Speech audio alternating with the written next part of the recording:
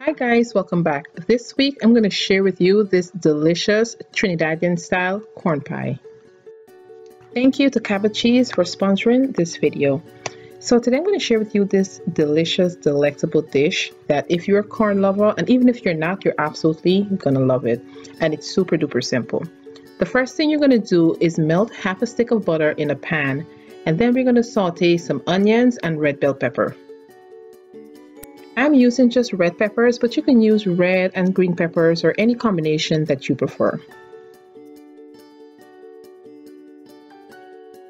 Now that the peppers and onions have softened, I am going to add milk. Now I'm using whole milk, but you can also use evaporated milk. I'm going to give it a good stir and let this come to a boil.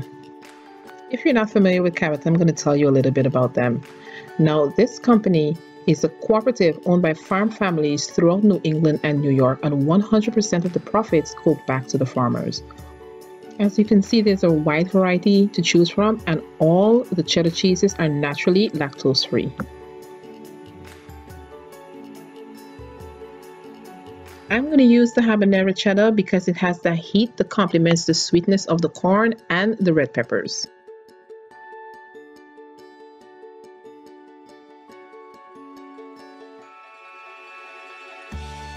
Now that the milk has come to a boil, I'm going to add the cornmeal. Now this is fine cornmeal that I'm using. And you want to do this slowly in parts. As you can see, I am stirring in between each addition. Doing it this way is going to ensure that you're not going to have any lumps in your pie.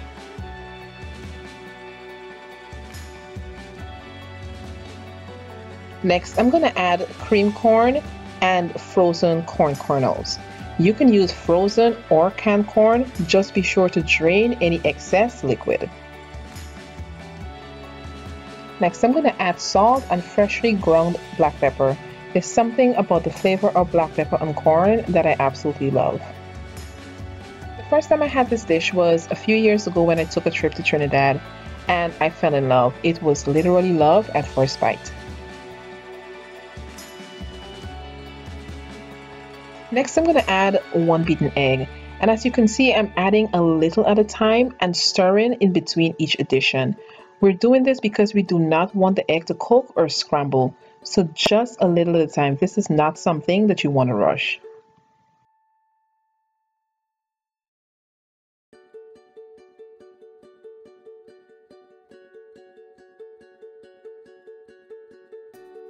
And now comes the exciting part, which is adding the cheese.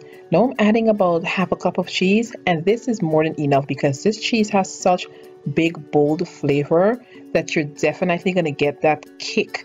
You're going to get the heat from the habanero. So this is just the perfect amount. Now I'm adding the mixture to a greased baking dish. Doesn't that look good? Just look at the way it cascades into the dish and be sure to scrape that pan. You want every single bit.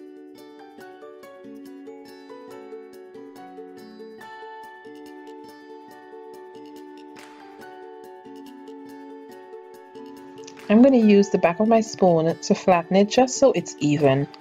And I'm going to do this just before sprinkling it with even more cheese and then popping it into an oven that's been preheated at 350 degrees.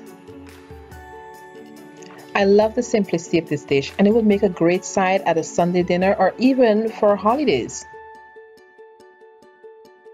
Now I'm going to pop it in the oven and let it bake for about 30 to 35 minutes and then allow it to cool before cutting into it. And that's all there is to it. It is done. I'm telling you, you're absolutely gonna love this. The sweetness from the corn and the spiciness from the habanero cheddar cheese is the perfect balance between heat and sweet.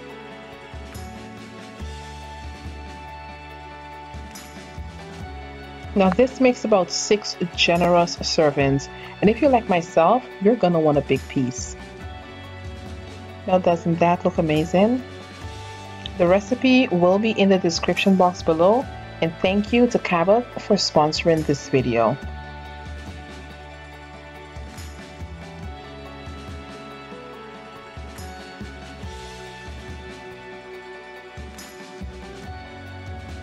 If you've enjoyed this video, please give me a thumbs up and be sure to subscribe and I will see you next time.